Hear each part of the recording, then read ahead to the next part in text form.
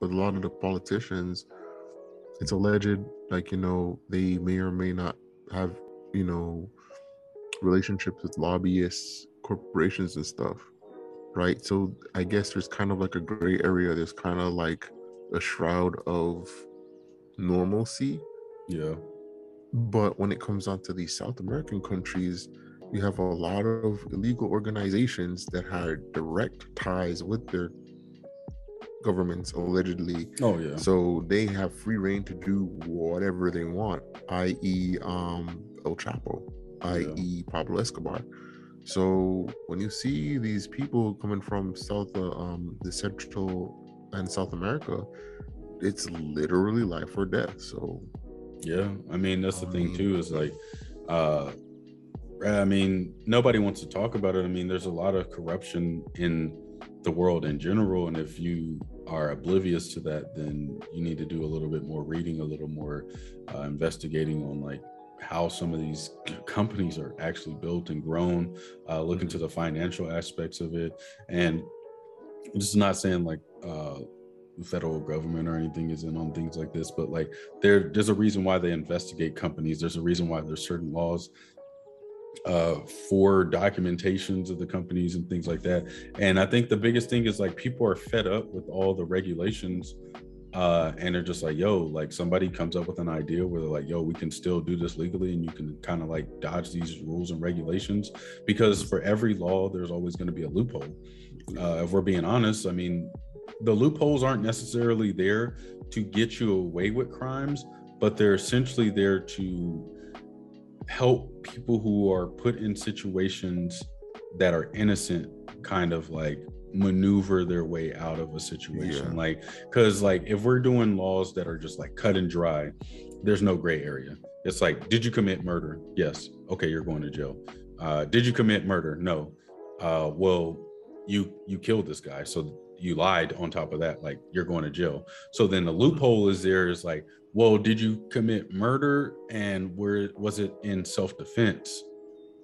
Yes. Okay. Well, technically you did kill that guy, but since you were defending yourself, uh, you can get away with it or you can get off and you were in the right to do this crime. So that's how you have to look at loopholes. And I mean, there's loopholes for everything in this world. I mean, and whether it's good or bad i mean that's up to who's ever using it. It's not necessarily none of these laws and are put in the regulations are put into play for people to just scam the system. And some of them may or may not be but like truthfully it's not on the level that most common folk would be concerned about because multi-millionaires are the ones coming up with these plots and schemes to kind of like yeah. keep as much money in their pockets. Um, if you talk about like how businesses are ran um, i did a little bit of research on it and i truthfully it's one of those things where you like you learn more than or you forget more than you've ever learned uh, mm-hmm. because when i was trying to open up my business and everything like that with my boy um, it was it it's it's a lot that goes into it because you can essentially like you see how Donald Trump has gotten out of debt every time with his businesses. Yeah. He just files bankruptcy against his businesses. So essentially, that's why they tell you, like, yo, your business needs to be an asset by itself, and you need to be separated from it. So yeah. when that happens, your company is making all this money. Now you may drive a company car, company car, that you drive on a daily basis, but essentially this car belongs to the company because the car was bought underneath the company. So then when the company goes under, you don't lose anything. You don't lose your house. You don't lose like money in your bank account. Anything that was in the business is pretty much held responsible or liable for all these things and there's even ways to like pay sh- smaller taxes and things like that uh, yeah. because it's based off of money in your account and not necessarily money that you profit from because um, essentially if you can take your profit and put it back into your business you don't technically have that money but if you the money you're putting into your business is a new car a new house a new like whatever like if you need to buy a suit and you use the company card like that's all underneath the company and that's it's one of those things that i mean that's business. Because truthfully if you it's like separating separating work and play. Like if i'm running a business and i require a suit for a business meeting then yeah my business should cover that. Yeah. now yeah.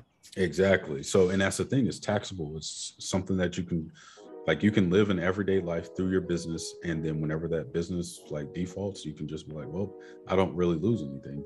And that's what a lot of people don't realize is like a lot of these people who have successful businesses who have succeeded and failed have gone through this and known like they talked about like donald trump like uh like losing all this money filing bankruptcy three four times however many times it is and he's still a millionaire he's still a billionaire. Like why obviously he's doing something right like Yeah. obviously that was a necessary requirement for him it was just kind of like i took a chance on this and it didn't succeed so it defaulted it's i mean the thing is is like people with money don't need to use credit so that's the thing too with like people who are at like our level essentially like middle class and things like that Mhm. where it's like you need credit for everything and i'm Yeah. moving away from that essentially because like truthfully credit is it's not it's not good. I mean you end up paying more money than what the product is worth when you could just wait two years save up the money not pay any interest and be golden. And then even with that being said you could even take that as a down payment put it towards the new car the new house or anything that you want. And then on top of that that money that you were saving at that same point now you have more money so you can put double the payment down towards it pay off a car before the interest starts Mhm. accumulating things like that like there's so many ways to get around paying interest and paying all these taxes and things like that that it's just one of those things that you need to educate yourself and reading books watching podcasts um, watching youtube in general we talked about it like you can learn anything you want on youtube. Most freelance educators are on youtube right now just teaching stuff. We're essentially about to start a clothing line. Uh, we're going to learn a lot of stuff that people have learned on youtube. Uh, we follow a couple people on instagram who do things like that and then we just take the good and the bad and you still have to take a risk at the end of the day Yeah, But- it is what it is. Business. yeah i mean that's that's just what it is i mean it may work it may not work but through the process we will learn something something that will essentially make the second time around better the goal is not to have a second time around the goal is the second time around to be like all right we both have our individual clothing lines and they're going in different direction and Mhm.